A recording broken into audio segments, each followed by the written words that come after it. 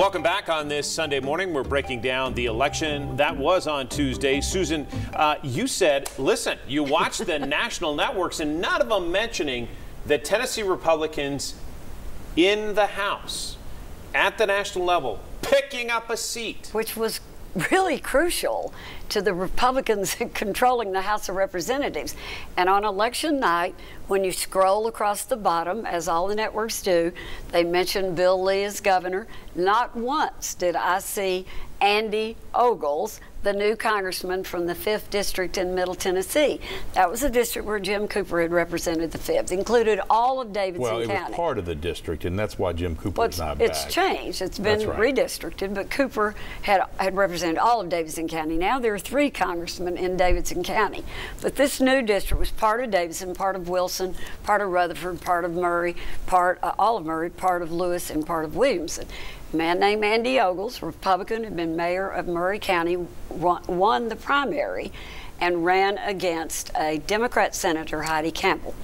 It was a fairly contested district, but the rural parts of the district are very Republican. And so Andy Ogles won, and it was a pickup of one vote in the U.S. House, which was critical. And no one has talked about it. And the, the state of Tennessee moving. Well, to- we're now 8 1 It's 8 1. instead Eight of 7 Republicans, 2. eight right. Republicans to one Democrat instead of seven Republicans. One. Democrat left in Memphis. So, Don? Well, there was a time, and uh, I think it was 7-2 Democrat, and probably in the 70s. We go all the way back, and, and then it was certainly 5-4 Democratic for a very long time. Listen, you know, th- this is what gerrymandering does, and, and, you know, to the victor goes the spoils. If you think of Nashville, we call it the donut effect. The center is blue, and there's this big red donut. Well, what the Republicans were effective doing is carving those pizza-shaped slices and bringing in those red portions of suburban Nashville, those out counties, and it killed Davidson County in terms of having a blue vote and a blue vote in Congress. It does not do our state well, okay, it, to be that unbalanced. Uh, because at the end of the day, we do need things from the federal government, and at least two thirds, likely, maybe all, uh, by the time that this show airs, will, uh, of the federal government will be controlled by Democrats. It'd be nice to have a friend or two in Washington, D.C. to advocate. I think Donuts- it's really just following up on that. John Rose and Mark Green and now Andy Ogles all represent parts of Davidson County. And I can guarantee you, they don't look like Nashville. no. Donuts and pizza on a Sunday morning sounds good, John. Uh, Don, you wanted to mention something else at the national level, and then I'll let John. in. Right. Listen, I mean, I, I, I was certainly worried about the red wave. Susan was uh, touting it uh, before election, and woohoo, woo. It was at best a pink splash. Look, the, the Democrats, when this show airs again, likely have retained the Senate. Of course, they still have the White House with President Biden. He's feeling very good. The House, we may not know the House for a while with California out there, but the Democrats definitely overperformed, outperformed. I think late on Tuesday night, you know, we sent around in our friendly little group text that should never see the light of day that I said everybody on MSNBC is peeing themselves with glee, Yeah. and it really, it really was a remarkable night for the Democrats in a year in an election cycle that usually doesn't bode well for the incumbent party. John, what else stood out to you about election night 2022? You talking about nationwide? Any, anywhere, local, state, national. uh, Florida. Yeah. Florida is what stuck out to me. Uh, I was talking to Bill Lyons on, um, I guess it was the day after, and we were talking about what happened.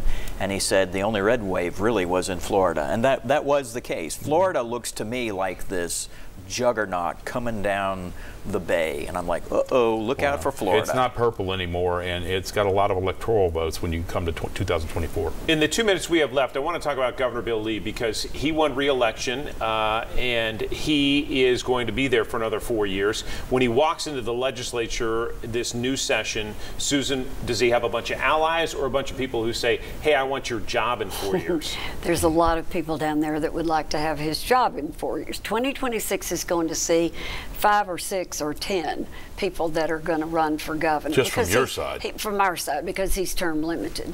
Uh, I think Governor Lee uh, most likely has served, will serve his last term. Whether he has national ambitions, we'll find out.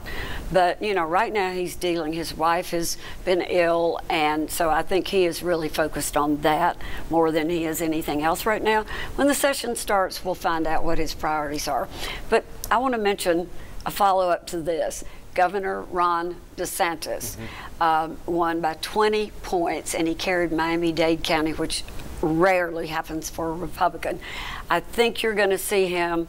You are seeing him emerge as the Republican star. O- only a minute left, Don. Uh, your thoughts on Governor Lee and any other closing thoughts? Well, I, I think the interesting thing is we, we joked about this with Governor then Governor Haslam when uh, the state achieved the supermajority and said that might be your worst nightmare, and it really has given the legislature a lot more power in Tennessee, uh, and it proved to be difficult for Governor Lee. It's going to prove to be more difficult for Governor Lee, even though he's more experienced, probably in this second term, where they know he's the quote lame duck, and you've got Cameron Sexton and others with great power, probably looking at his job. The one thing I will say, keeping on the reality show theme, the biggest loser on Tuesday night was Donald Trump, and and your guy Ron DeSantis maybe uh, exhibit one in that I think Trump really lost a lot of standing and prestige on Tuesday night. Question is, does he know it?